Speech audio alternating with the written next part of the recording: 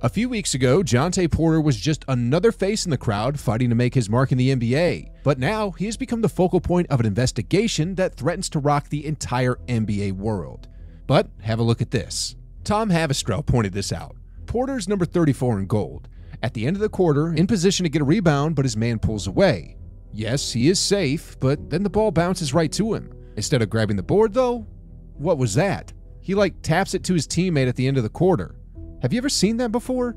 Now, that was the third rebound of the game, and it's only the first quarter. The total is four and a half. So you can see Jontay go immediately to the coaches in the background and start pointing to his eye. So he left the game having re aggravated an eye injury. Nowhere in the minutes he played did he get hit in the eyes. He wasn't even on the injury report before the game. But maybe he got that board and was like, three in the first quarter, I'm out.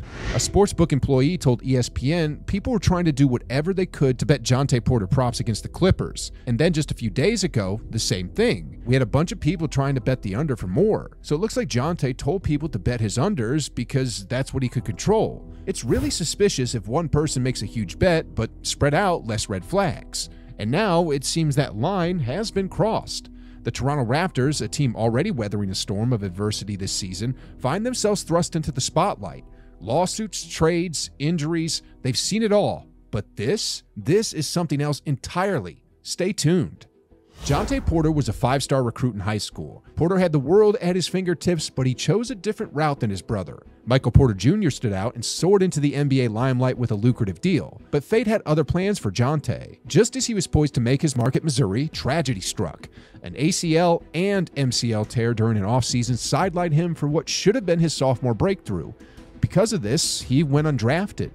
The road to redemption was challenging. Jontay found himself navigating the world of professional basketball, bouncing between teams in search of stability. From Memphis Grizzlies to the courts of G League teams like Wisconsin Herd, Motor City Cruise, and Raptors 905.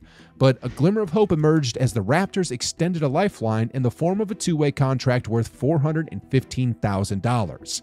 It was a chance for him to rewrite his narrative. Jontay found himself donning the Raptors jersey, grinding it out on the court with passion. Despite the odds stacked against him, he was making his presence felt, averaging 13.8 minutes and 4.4 points per game. But then a dark cloud ensued. Porter's comeback narrative was abruptly halted by a cloud of suspicion. Recent revelations have put him into the spotlight for all the wrong reasons. The NBA announced that an investigation into him is ongoing. Allegations swirled around a series of prop bets tied to Porter's performance in the Raptors games on January 26, 2023, and March 20th. These allegations raised troubling questions about his involvement in potential misconduct. These prop bets raised eyebrows due to their correlation from Porter's early exits from those games, either due to injury or illness. What's more alarming is that the bets on Porter's benchmarks were very profitable both times. A closer look at the specific games under investigation sheds light on the concerning circumstances. The first game. In the first game, Porter's court time was limited to just 4 minutes and 24 seconds. Despite his brief appearance, he failed to make any impact, dropping 0 points and no successful three pointers. His stat line painted a dismal picture, with just one assist and three rebounds to his name.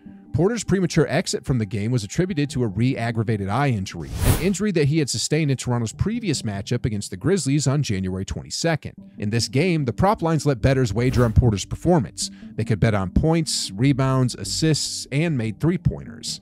But after this game, DraftKings circulated a report stating that bets on the under for Porter's three pointers were the most lucrative NBA prop bets that night.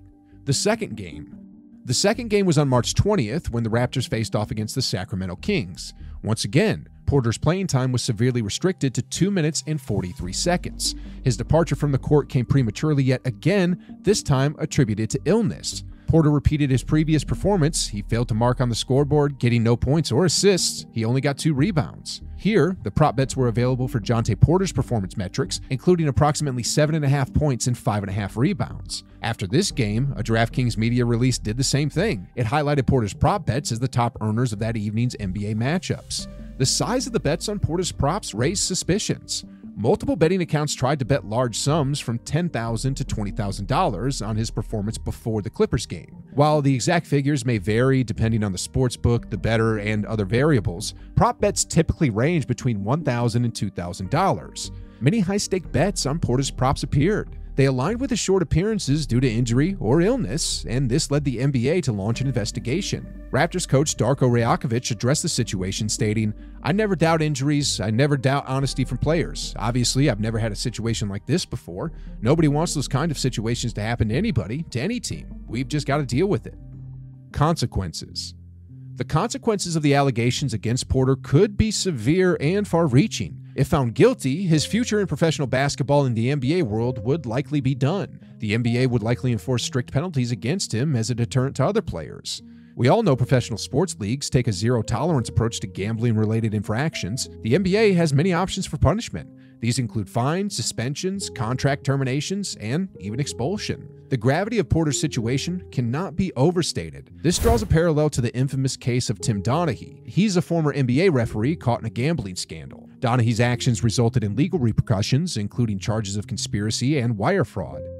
Despite his low profile in the league, Porter's actions carry big implications.